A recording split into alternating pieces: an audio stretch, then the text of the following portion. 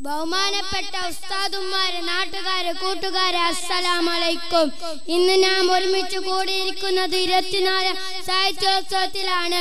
അള്ളാഹു സ്വീകരിക്കുമാറാകട്ടെ. ആമേൻ. ഞാൻ കഥ പറയുമ്പോൾ നിങ്ങൾ ശ്രദ്ധിച്ച് കേൾക്കണം. ഇല്ലെങ്കിൽ ഞാൻ കഥ നിർത്തും. അതുകൊണ്ട് നിങ്ങൾ ശ്രദ്ധിച്ച് കേൾക്കുക. ഒരു ദിവസം ഒരു ഉമ്മൂമ്മ ഒരു വിറക് ചാക്കുമായി പോകായിരുന്നു. അപ്പോൾ ഒരാൾ വന്ന് ചോദിച്ചു ഞാൻ സഹായിക്കട്ടെ ഉമ്മൂമ്മ.